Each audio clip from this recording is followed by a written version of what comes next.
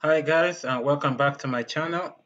So in my last video, I showed you how to install the Oracle VirtualBox, which is a hypervisor for installing uh, virtual machines.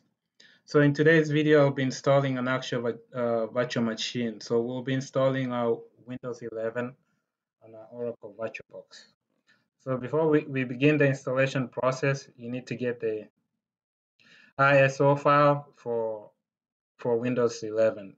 So uh, you just go to Google and then type in uh, Windows 10, I mean Windows 11 download, and then select the link that takes you to, there's a link that's going to take you to the Microsoft.com. So go to that link.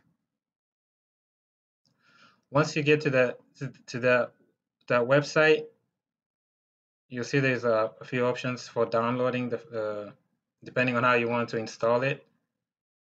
Uh, once you uh, depend depending on if you want to use the assistance uh, installation or if you want to do like a, a DVD, bootable USB or DVD, or for in our case we just want the iOS uh,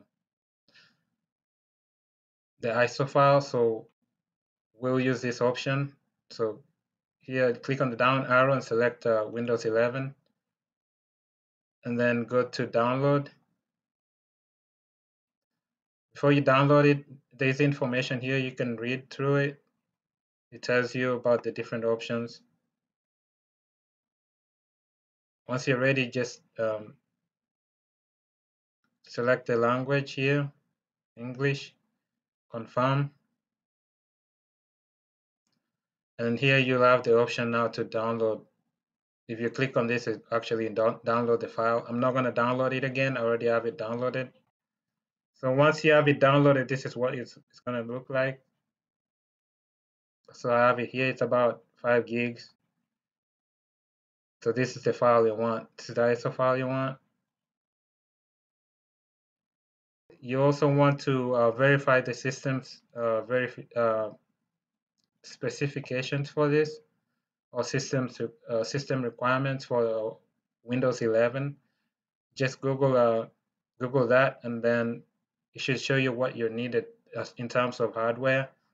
So in this case, we need four gigs, four gigs of RAM, and then for storage, the hard disk you need at least 64 gigs, and then for the processor, uh, two or more cores are needed. Now that we've determined all that and we have the file, we can now go to, uh, we can open uh, VirtualBox. So go ahead and open VirtualBox here and then go to new and then give your file your uh, your new system or your new machine a, a name. This is going to be a Windows 10 machine. I mean a Windows 11 it's, it's being installed on a, on a Windows 10, which is our host. And then here, the folder is where the files for this virtual machine are, are going to be stored. So it, it created a default folder here. You can change it if you want. And then the rest, you just it just selects it for you. The type is uh, Microsoft Windows and the version is uh, Windows 11, the 64-bit. So once you have that you can click next and here you can change depending on how much um, RAM you have on your, your system your your host machine you can adjust this. Uh, for us we'll go with the 4 gigs. And then it says it gives you an option here to create the hard drive just to create the virtual hard drive. Then we'll go with the first option here for the file type the VDI click next dynamic, we want to, uh, the, the file size we want to, to increase or decrease dynamically. Click next, and then here just create the virtual machine with the 80 gigs of uh, disk space. So now we have the settings all uh, configured. We can still make modifications here by going to settings. And then there are things you can change here as well. Like if you go to the advanced tab here under general, you can share the clipboard, which allows you to paste between the host and the client. between like uh, for instance on mine I have Windows 10 host then the client will be uh, Windows 11 I can paste between the two. So you just need to enable this here. Uh, the, the other thing you can change here is the type of uh, network you can use NAT the default. It just means you you'll share the same IP address as the host. There's other options here but we're not worried about those right now. Another key thing you want to make sure you you make changes to is the storage. So the disk right now is empty. You want to make sure you select that image that you downloaded. So you can click on this down arrow and then you can browse to that which is the Windows 11 ISO then make sure you check here live CD click OK. Now you're ready to start this machine. Click on start. And then it should begin the installation process. So as you, as you can see here it's it has started the installation process. So here we are the uh, Windows setup. Just uh, go with the language is English click on next and click on install.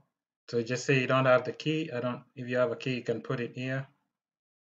I'll go with the Windows 11 Pro click next. Depending on what kind of machine if you have an older machine your, your system may not meet the requirements. This is the new requirements for Windows uh, 11 which is your, your, your machine should have your host should be able to support secure boot and TPM so this one doesn't support it. So we'll, we'll see to, we'll try and see if we, are, we can get a, a workaround to this. So just close this window if you get this error. So we'll we'll uh, we'll start the the process again. So once you get in order to uh, try and bypass the error message we got earlier once you get to the Windows setup page you can you need to press the shift key and the F10 key at the same time and that should open the admin uh, command window uh, and what you, you need to do here is you need to type reg edit which allows you to edit the your regist your registry.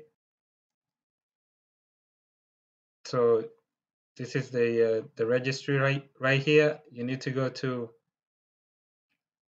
H key local machine system folder and then the setup folder. Once you're in the setup folder you need to create a new folder here. Let's see new key. So if you select new key just type this one we'll call it um, lab config just make sure all the letters match in terms of the cases. Then go to this folder the lab config folder. So inside the lab config folder you want to create a new dword and then you want to call it bypass. Bypass uh, secure boot check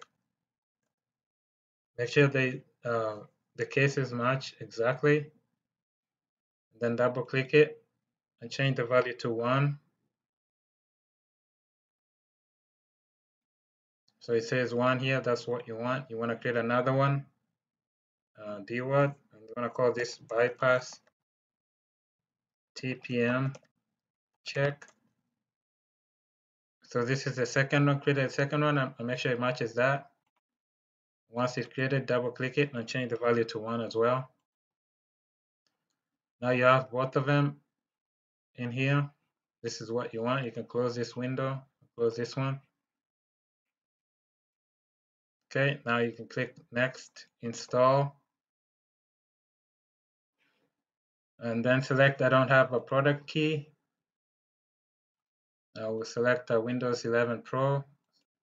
Click next now you can say you can accept um, the terms for the license click next and as you can see we were able to uh, avoid that uh, that error message so here we'll do a custom install. We have 80, uh, 80 gigs by default. That's what we selected as for disk space. And here it's just gonna go through the process. This takes a, it's gonna take quite a few minutes. So I'm gonna, I'm gonna, I'm gonna skip all this. So pretty much the next steps are just gonna involve selecting next, next, next and going with the defaults until it's done. So I'll, I'll be back once it's done with the, uh, with the installation. And then once you get to this page, again, you select where you are. So there's a few more settings here that you'll be prompted to check, again, like the keyboard.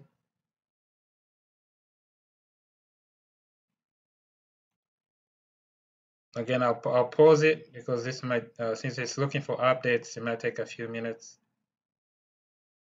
So here it's asking, it's asking for a name, just uh, give it a name. So yeah, set it up for personal use.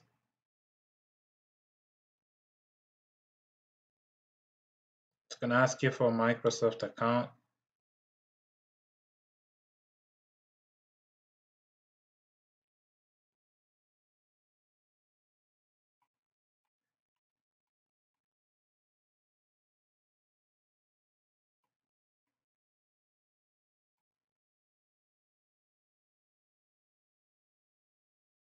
So we'll use the offline account option. Let's see if that works. Skip for now. You have to type your name.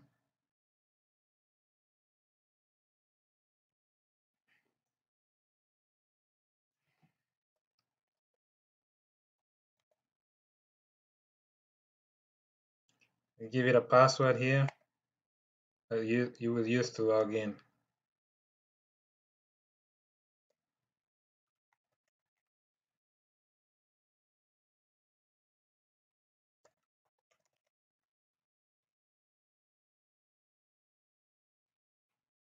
Then here you can set you can set up your security questions.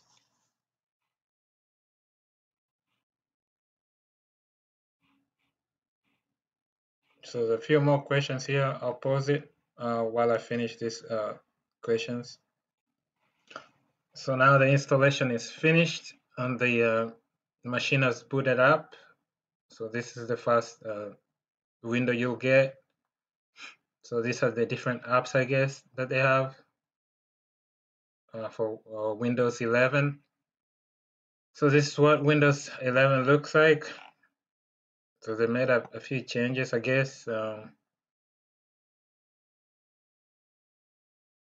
uh, I'll have to, I haven't used it before, so I'll have to uh, play around with it to see what's new and see what they've changed so far. Uh, let's see the file explorer looks uh, just like Windows 10. I'm not I'm not seeing any big difference there. You can look at this PC. It should tell you that uh, we installed uh, 80 gigs. It's already using about 20 or not 18 or something like that. So it doesn't use the entire 80 uh, from the host. It just uses enough to install the system files.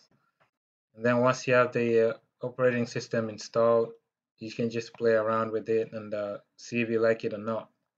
So that's it for this video. I'll see you again in my uh, next video. Thanks for watching. Bye.